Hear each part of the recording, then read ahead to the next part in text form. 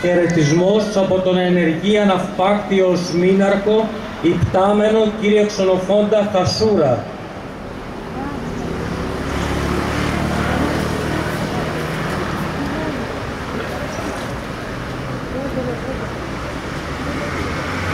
Καλημέρα. Κύριε Δήμαρχε, σεβασμιότατε, εκλεκτή παρευρισκόμενοι, Είμαι ο Σμήναρχος Ξενοφών Χασούρας και σας ευχαριστώ για την πρόσκληση στη σημερινή τελετή. Τι μπορεί να σταματήσει τον χρόνο, τι μπορεί να τον τυθασεύσει και να τον συμπυκνώσει σε μία στιγμή; Μόνο η μνήμη.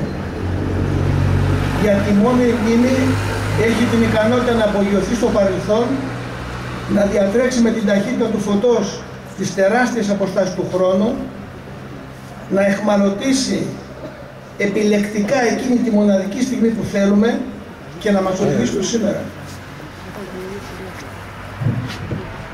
Σε αυτό το χώρο, στο μνημείο πεσόντων αεροπόρων, ανακαλούμε τη μνήμη μας από το τότε παρελθόν για να τιμήσουμε όλους εκείνους τους συμπατριώτες μας που τότε, στα καλύτερα νεανικά τους χρόνια, πιστοί στο καθήκον και στον όρκο που έδωσαν προς την πατρίδα, άφησαν την τελευταία τους πνοή θυμίζοντας σε όλους μας πως ο αγώνας για να κρατήσουμε τη γη μας, τη θάλασσά μας, τον ουρανό μας, την ιστορία μας χρειάζεται θυσίες.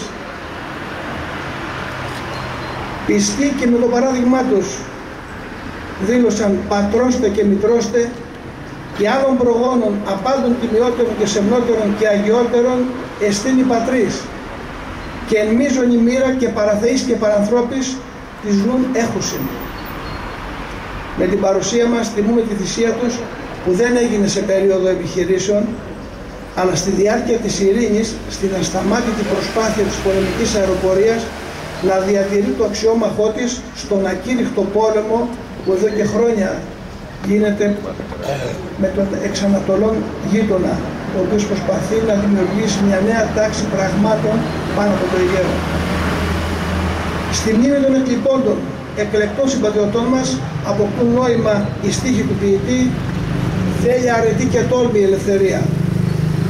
Όλοι τους πήραν τη θέση που τους άξιζε στο πάνθεο των ηρώων αεροπόρων μας. Είμαστε σίγουροι πως οι σημερινοί συνάδελφοί τους θα τους κρατούν συντροφιά καθημερινά ρίχνοντας τη σκιά των αεροσκαφών τους πάνω από την πατρίδα μας. Εδώ, στο χώρο που συμβολίζει την υπέραντη θυσία τους, ας κάνουμε τη μνήμη μας μνημείο και ας κρατήσουμε μέσα εκεί την ελληνική λεβεδιά τους που μας κάνει να αισθανόμαστε περήφανοι και Έλληνες. Ας αφογκραστούμε τον εθνικό μας ποιητή κλείσε μέσα στην ψυχή σου την Ελλάδα και θα αισθανθείς μέσα σου να λαχταρίζει κάθε είδους μεγαλείο. Θέλουμε να είμαστε Έλληνες. Μπορούμε να είμαστε Έλληνες. Αν μιλούν έτσι οι καρδιές μας, τότε τα χείλη μας δεν είναι δύσκολο να φωνάξουν αθάνατοι.